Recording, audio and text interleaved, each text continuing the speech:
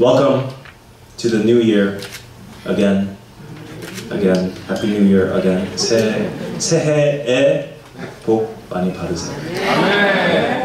I know, you know, you say it fast like 새해 복 많이 받으세요. I grew up thinking it was just 새해 복 많이 받으세요. 새해에 복 많이 받으세요. So I hope that you are all blessed this year. I hope that you all had a blessed and safe holiday with your families, with your loved ones. I pray and I hope that this new year will be full of blessing, full of provision, full of grace for all of our Awake Ministries members, for all of their loved ones. Uh, long time no see, right? Uh, long time no. I'm a little nervous. I'm a little nervous. Uh, I missed all of you very much, even though I was here last Sunday. We had a guest speaker, and so I haven't been able to speak here uh, for two full weeks, and it feels like such a long time. So I'm very eager to stand here once again. And while I was in India, our senior pastor was talking about how a pastor, when they preach, can be blessed even though they are the ones preaching, right?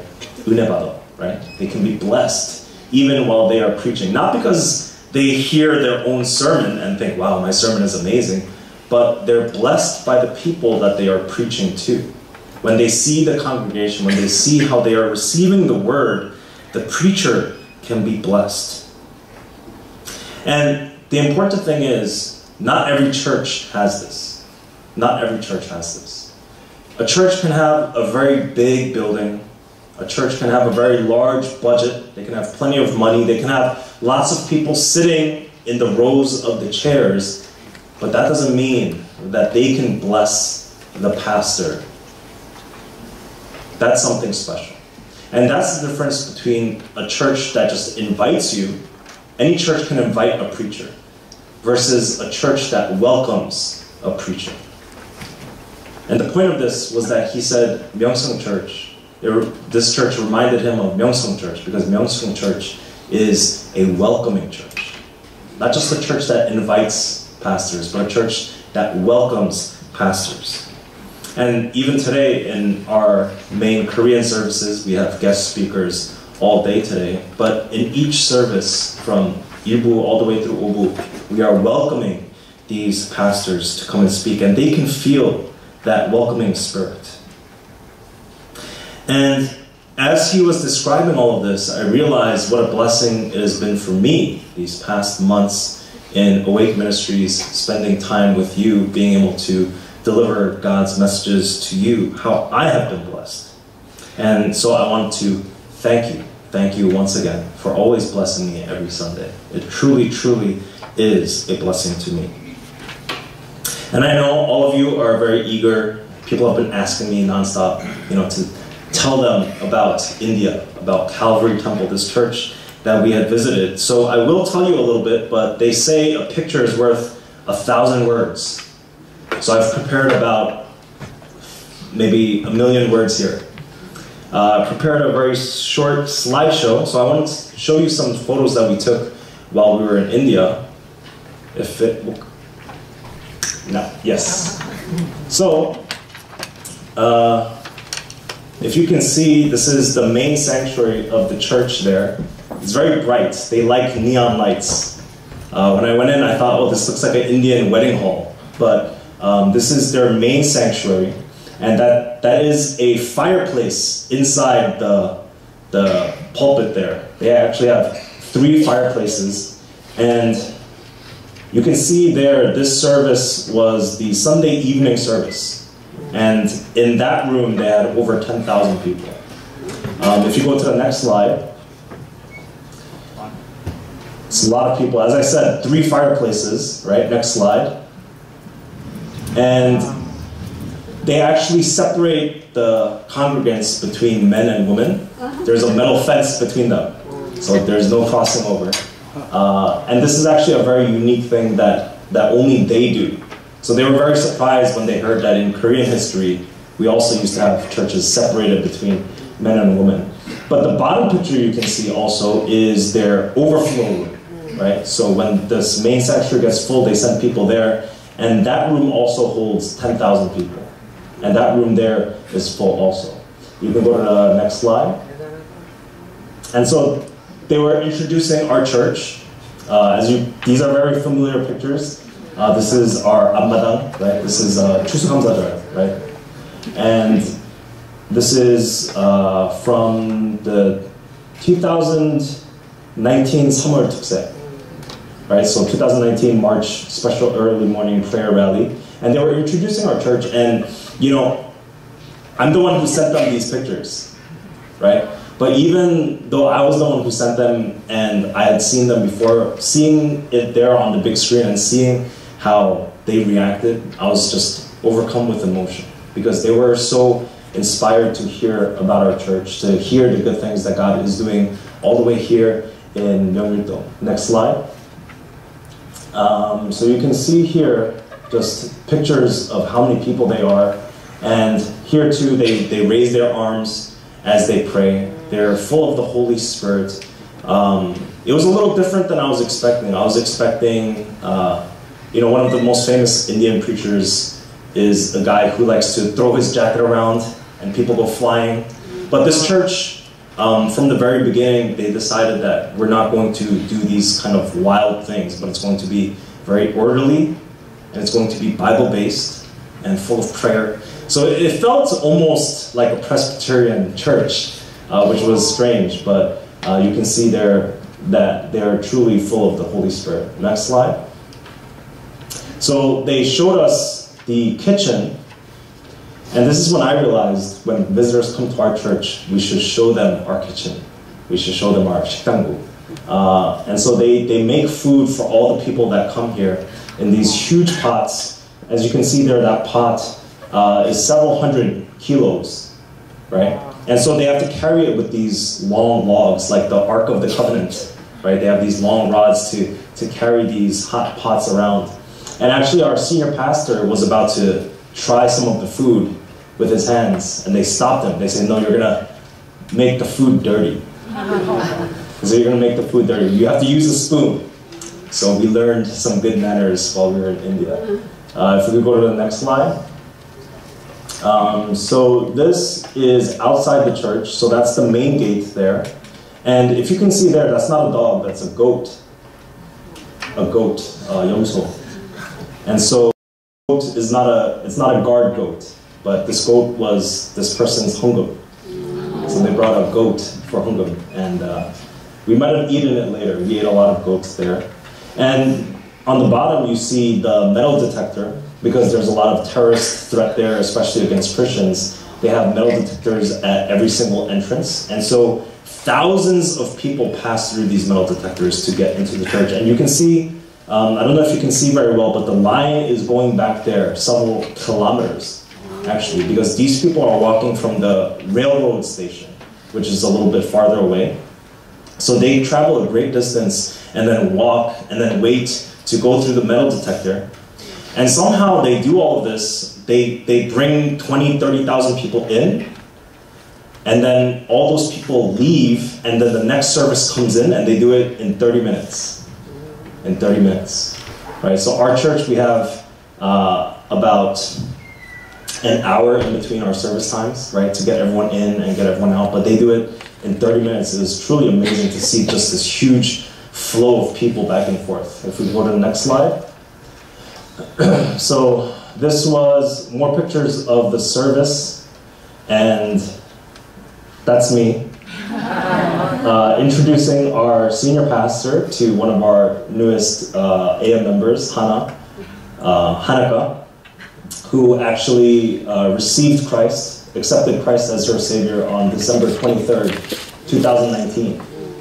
So uh, when our senior pastor heard her story and her testimony, he was very uh, inspired. I, I just wanted to, to have them say hello and then have her leave, but he said no, she has to stay for dinner, and we took her around and toured the church and everything.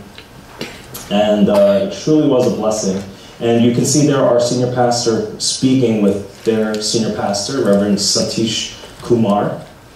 And we thought that this was uh, a Yeongjopshin, a reception room, right? It's, this is actually his living room. It's attached to the, the main sanctuary, right? So from the living room, you go right out into the main sanctuary because he and his entire family lives inside the church.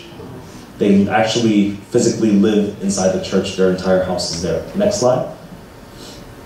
So this is the Youth Fest. We traveled from Hyderabad to Nambur. And so this is the Youth Fest. There's about 7,000 uh, young people here that are gathered to hear uh, sermons. And the Youth Fest ran from 8 a.m. to 5 p.m. And it was just sermon, worship, sermon, worship, lunch, sermon, worship, sermon, worship. Uh, and so our senior pastor spoke at one of the sessions. And then afterwards, they did a joint Q&A. Uh, Reverend Satish Kumar and our senior pastor did a Q&A together. Next slide. So this is the night service, and this was for the third anniversary celebration of the branch church in Nambur. And um, the church is three years old now. The branch church is three years old, and they have over 10,000 members. Uh, so it's truly amazing to see what God is doing there. And it was a little difficult to get pictures because it was so dark, so we had to overexpose everything. But uh, you can see just how many people are gathered there. They estimated this was about 9,000 people. And uh, it truly was an amazing experience to uh, see the powerful ways that God is moving, to see how welcoming they were to, to us, and how hungry they were for the Word of God. If you could go to the next slide. So this is our senior pastor and Reverend Satish Kumar in the sanctuary. This is after the service. Um, so after the last evening service at about 9.30 p.m., the senior pastor does a tour of the whole church, and then he gathers all the pastors for Kume. so um, this was during that tour. Um, it's amazing to see it empty like this. So you see there's seats on the sides, and then the middle is all just uh, floor for people to sit, and they sit, you know, just shoulder to shoulder on the floor for three hours um, to hear the word of God. It was truly amazing. So that's the end of the slideshow. I hope that gives you a little bit of an idea, sort of a picture in your mind. Well, not a picture in your mind, you've seen the pictures, um, but to visualize uh, what we experienced there and the, truly the amazing things that God is doing. And, you know, to see what God is doing in another part of the world. A lot of times we start to think that where we are, where I am, my city, my town, my country is the center of the entire universe, the center of the world. Yeah, everything revolves around Seoul, right? Everything's in Seoul. What else is there? But to see what God is doing, to see that we live in just one small, small, tiny part of the world, a big, wide world that God has made, that God is in control of, that God is working. We have to remember that we do not own God. We do not own God. We do not have priority access to His grace. We do not have exclusive rights to His blessing. We are not the favorite children in the family. You know, parents say, I don't have a favorite child, but, but, you know, my, my first is, uh, but we are not God's favorite children. We are not. God loves all of his children. And it's important for us, it's very important for us to love our local church. I know all of you here love Myeongsung Church. It's important. But we must also have a heart and an eye towards the greater church in this world, the worldwide body of Christ. So it was very encouraging to me to hear about the story of Calvary Temple, the story of Dr. Satish Kumar. Uh, to give you a brief overview. He planted this church just 15 years ago, 15 years ago, in 2005. Think about what you were doing in 2005. Think about what you were doing in 2005. Myeongsung Church was already 25 years old. Our English service had been established for six years already at that point. In that short time, this church grew to twice the size of our church. They have now over 200,000 members. 200,000 members. And to be really, really honest with you, when I hear about other pastors nowadays, you know, recently, When I hear about them planning to plant a church, when they, they say they're going to go out and start a new church somewhere, you know, I sort of laugh. I think, really? You want to you want to start a new church in 2020? Think about what you're doing. Because even among many pastors, we feel deep down inside that there's no more room for a new church. There's no more room for a, a new congregation to start and to grow. Why don't you just get a job? Get a job at a church somewhere, an established church, you know, serve there for a couple of years, and then you hope one day you get called to be a senior pastor somewhere else. That's the normal track for a pastor, right? Every career has a track that you have to follow. Just follow the track. What are you doing going planting a new church? Do the safe thing, do the obvious thing, do the thing that is already known, the way that has already been mapped out for you. There is no more space for a new church. And what that is saying is that there is no more room, there is no more space for God to move, no more room for God to act, to work. But what we know about God is that our God is a God who makes space. When there is no space, He makes space. When room cannot be found, He finds it. Our God is a God who works, who moves, who acts. In today's passage, our Bible reading today in Isaiah 43, Isaiah recalls a time when the Israelites faced a monumental problem, a big, big problem. They could not see a way forward. They could not see any room around them. There was no space for them to even breathe. As the saying goes, they were stuck between a rock and a hard place. They had nowhere to go. The mighty roaring waters of the Red Sea crashed into the shore in front of them. The rumbling of the Egyptian soldiers, their horses, their cavalry, chariots roared behind them. The Israelites were not fighting people. They were not a band of fighting men fit and ready for battle. They were old. They were young. They had livestock. They had women. They had old. They had sick. Many of them were already exhausted. They were already dying from the journey through the wilderness. This was the last thing that they needed was a battle. And they surely were not going to swim across the Red Sea. All that they had, the only thing that the Israelites had, was this crazy old man named Moses with a stick in his hand.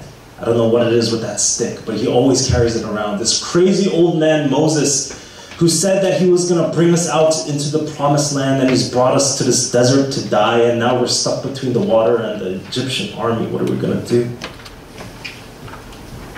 But look, look.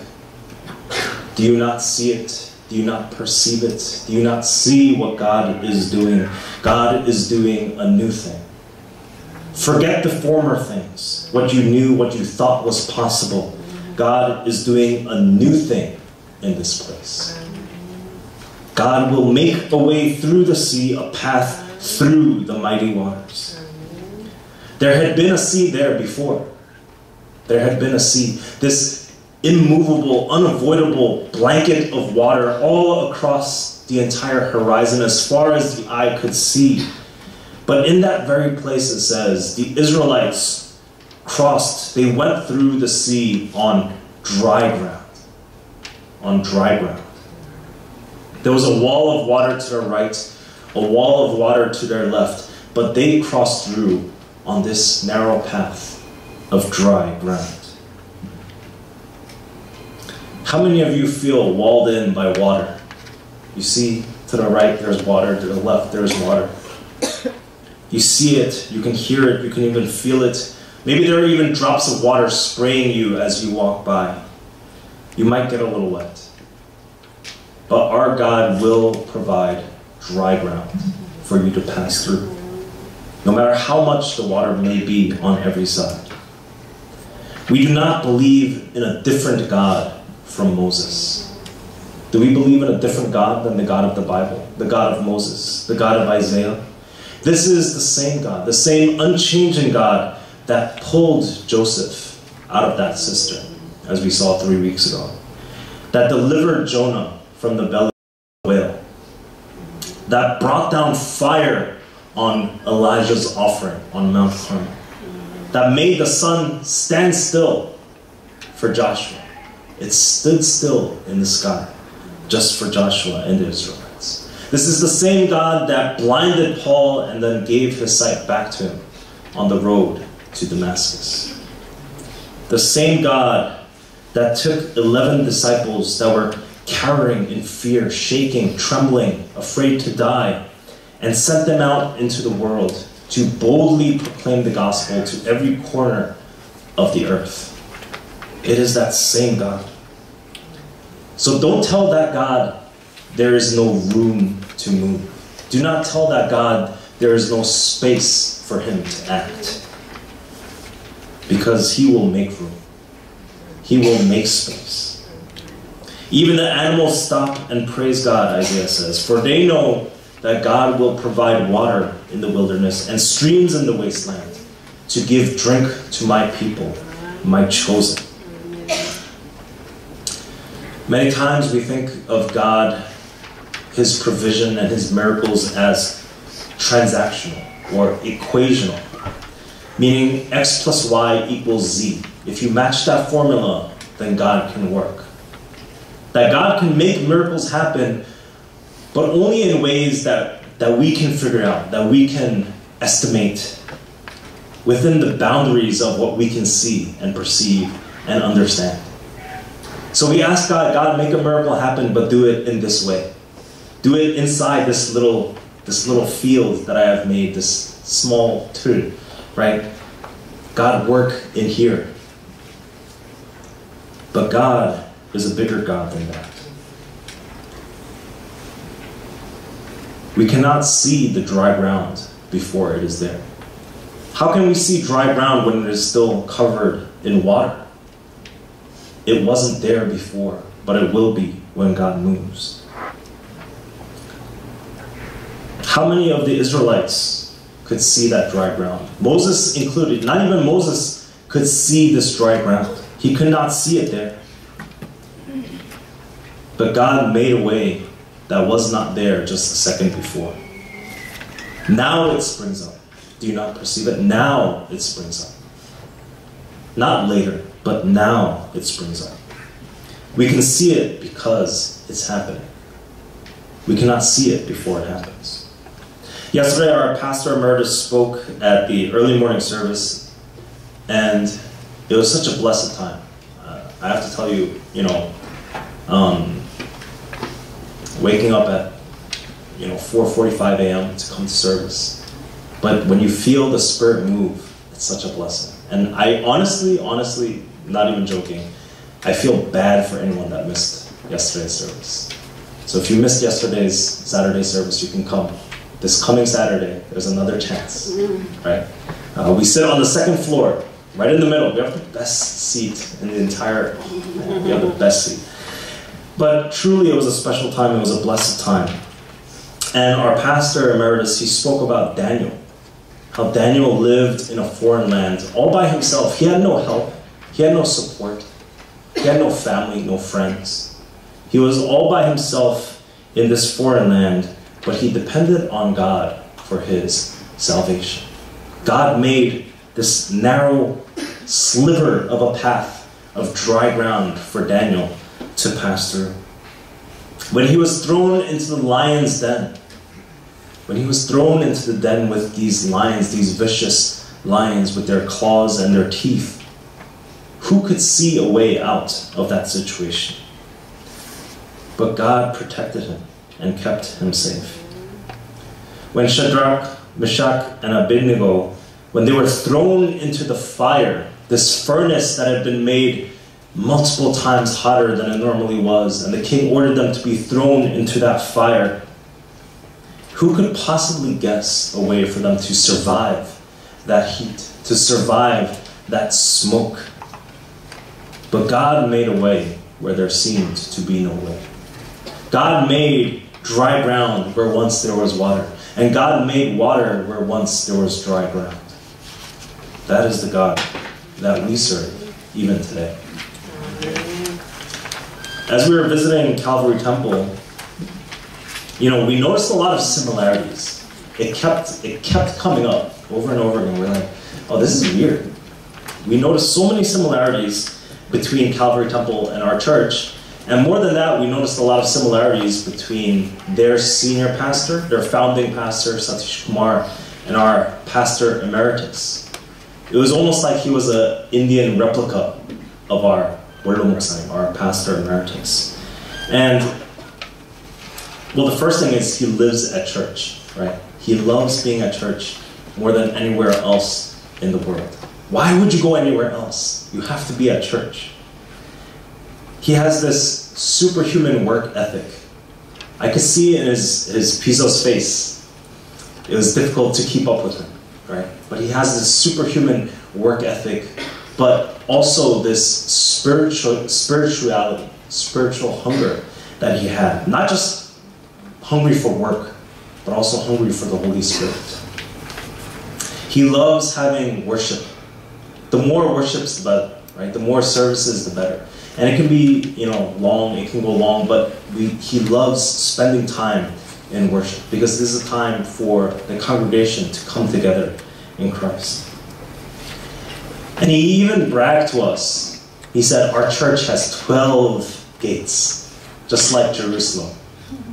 12 gates, just like Jerusalem, our sanctuary. And our, our senior pastor said, You really are my dad. You really are my father. And we were originally planning, you know, you saw the pictures of the Youth Fest and the third anniversary service. We were planning to fly to Nambur from Hyderabad. It's only about a 45 minute flight. Should have been easy. But at the very last minute, he said, hey, why don't we drive? And so all of us, our team, his team, we all got into cars. Uh, I felt bad. Some of his pizzas, there were like seven of them in one small car.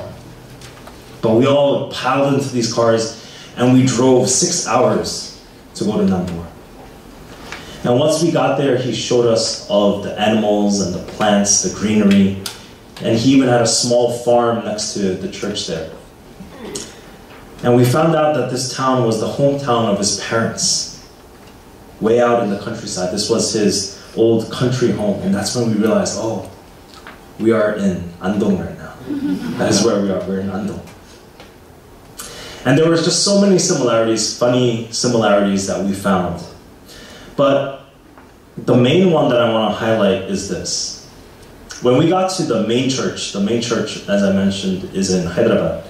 And Hyderabad isn't really what we expected. Not that, you know, we were looking down on India, but New Delhi was sort of, I, we had higher expectations, actually. And New Delhi was not so nice.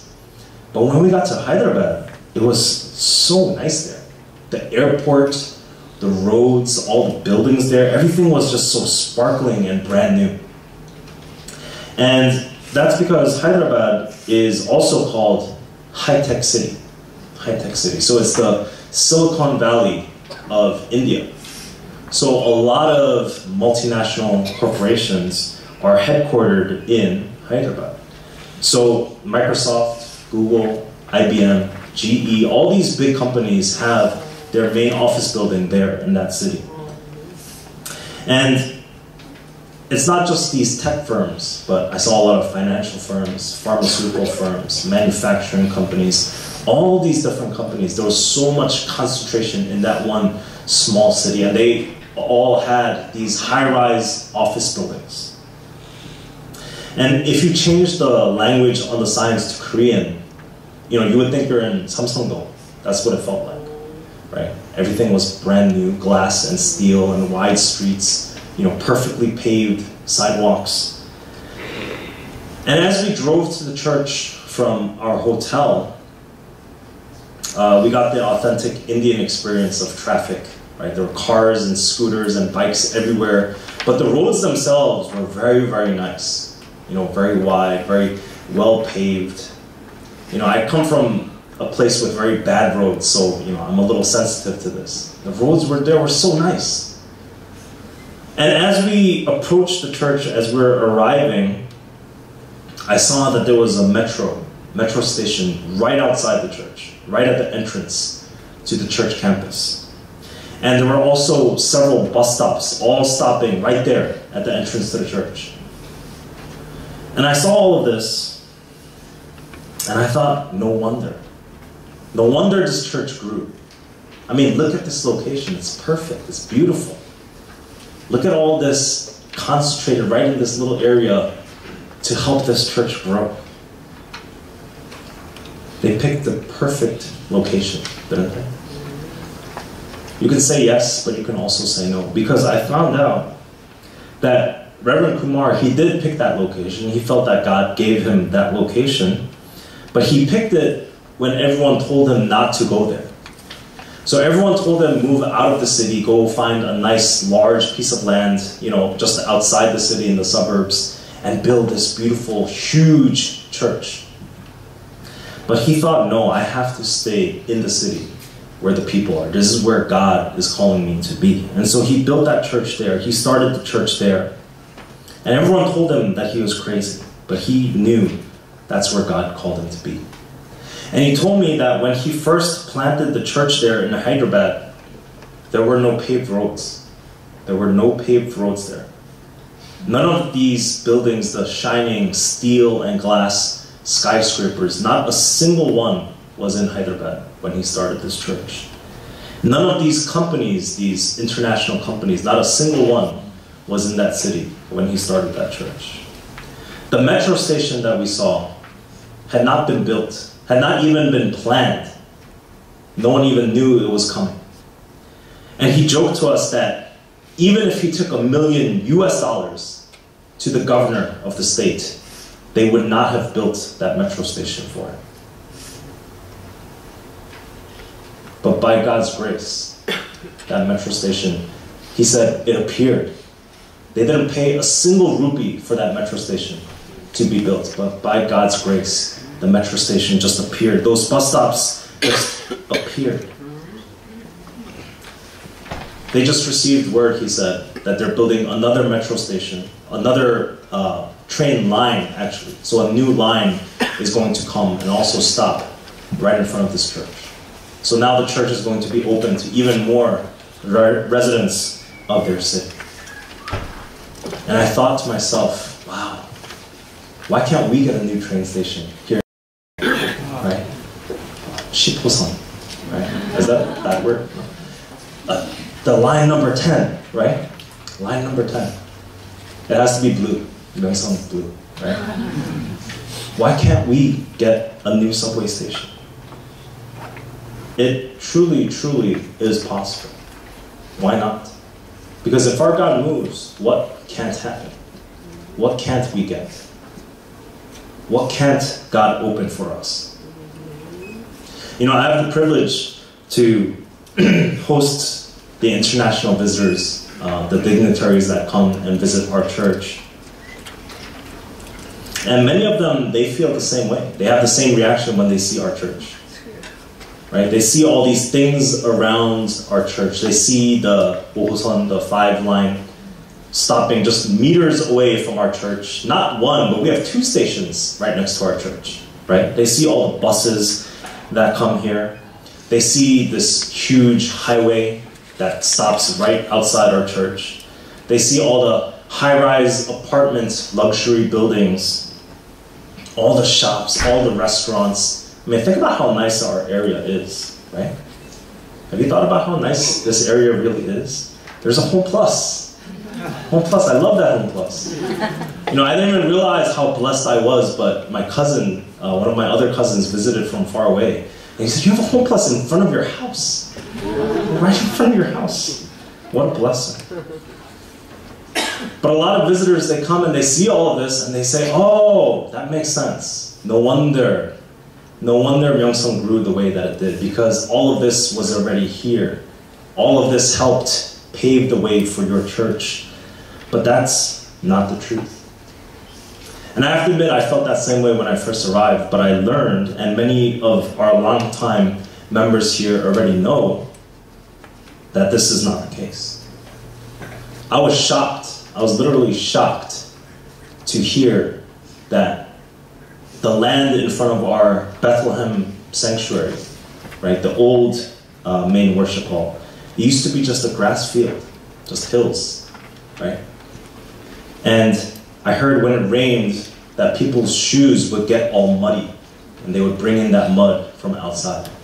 And I wonder maybe that's why we take off our shoes to come up, right, on the stage here, because of the mud, right? This corner of Gangdong-gu had nothing, right? When this church was started here, this had nothing. There was no subway, there was no highway, there were no apartment buildings, these luxury apartment buildings, right? No Seoul venue or Lotte Castle, right? Sky Castle. None of, none of that was here. None of that was here. All it had was this little church, a little church called Myeongsung, the likes of Myeongil-dong, right? I mean, even the name of the church, it, you know, who could have imagined that it would become a worldwide church? It was the light of just this small neighborhood called Myeongil-dong. But this small church had a big dream. And more importantly than a big dream, it had a big God. It had a truly big God, a God who makes space, a God who makes room, a God who moves and acts even when we cannot see it. So, yes, I stress to these visitors as much as possible. Yes, we are in the perfect location because this is where God has put us. But none of this was here before. All of this came afterwards when we were faithful to the mission that God had given us. When we were faithful and devoted to the place that God had put us, that is when all of that blessing came around us, not before. And I believe, I truly, truly believe, whether here in Myeongil-dong or over there in Hyderabad, that it wasn't the development of the surrounding area that blessed the church. Right? You could say, well, yeah, okay, the, all that stuff wasn't there, but because it came, the church was blessed. But I want to make a counterpoint, a counter argument, and say, no, all of that came because of the church. This community was blessed because of the church. Any community with a church will be blessed. It was the church that blessed the surrounding area. As we saw in the case of Joseph, when the people of God are blessed, those around them are blessed. When the people of God are blessed, all those around them are blessed. And we like to think of that as applying to our family and our friends, those that we you know, really care about, that we know by name. But it goes beyond even that because our God is bigger than just that small circle. When the people of God are blessed, everyone around them is blessed. When the people of God are blessed, the surrounding community is blessed, the city is blessed, the country is blessed, the continent is blessed, the entire world is blessed. I don't know if the blessing goes out into space, but I imagine that it would. Everywhere around us, when people of faith are blessed, those around are blessed. So look and see, because God is doing a new thing. God is doing a new thing. Look and see. Do you not see it? Do you not perceive it?